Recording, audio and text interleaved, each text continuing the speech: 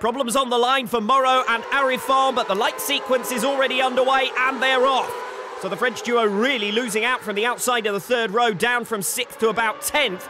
Schlosser and Friese already starting to make the expected progress from 8th on the grid, 6th at turn 1, getting past Leglise and Clement. But it's as you were at the front. Päivärinta and Veravainen making the fastest start, but trapped back in third as Reeves and Wilkes look to the inside for the lead into turn 3. Both caught offline, and the Flying Finns come through. Päivärinta and Veravainen from nowhere, taking advantage of a bit of argy-bargy between the British duos. Can Reeves and Wilkes now settle back down in the Veenslang to challenge for the lead?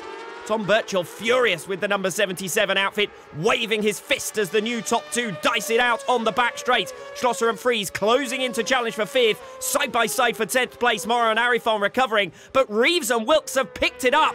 Three different leaders already on lap one, but it's the men at the top of the championship who have hit the front in determined style. No doubt about it, the title favourites touched around the northern loop, and that allowed Päivärinta and Veravainen to come through. The Finns now running second. Still Schlosser and Friese bearing down on Sam and Adam Christie for fifth. The Swiss duo fastest overall in a wet Q1, but in dry conditions couldn't get a decent run in the second session and are now forced to battle their way through. The lead trio already stretching away from home hero Bennie Streuer and his partner Kevin Rousseau. Their fight realistically for fourth, but the top three as close as you like in the final sector of this opening lap. Will anyone make a move in front of the packed grandstand at the Geert Timmer chicane? Päivärinta and Veravainen cut to the inside. Brilliant! An outstanding move from four-time world champion Pekka Päivärinta to recover first place. Both outfits behind into the slipstream as they head back to turn one for the second time. Schlosser and Friese have now made it past Sam and Adam Christie, but are a second back from Streuer and Rousseau in the race for fourth. Ben and Tom Birchall feinting to the inside there at the start of lap two, but not quite close enough. They'll be desperately keen to pass Reeves and Wilkes before they make a real attack on Päivärinta and Veravainen. They won't want an outfit between them and their main rivals.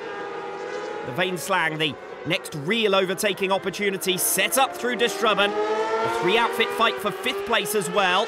Leglise and Clement bringing themselves back into contention. Moreau and Arifon back up to eighth. Päivärinta and Veravainen got great drive off turn five, and they look safe this time around. It's Ben and Tom Birchall getting a nice double tow, side by side through turn six. The Birchalls on the outside for seven. A robust defence from Reeves and Wilkes. And all the while, these two fighting it out is giving Päivärinta and Veravainen some breathing room up front. Not a lot in it, mind you, as they head off turn eight and into the third sector. Schlosser and Friese starting to break away now from Sam and Adam Christie and go after Streuer and Rousseau, but our focus is on this lead trio who've swapped and changed plenty in the early stages here in Assen and show no signs of easing up.